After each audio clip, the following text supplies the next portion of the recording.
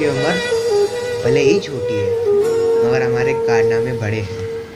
की उम्र भले ही छोटी है, मगर हमारे कारनामे बड़े हैं और हमसे गद्दारी करने वाले हमसे गद्दारी करने वाले हमारे गोदाम में पड़े हैं।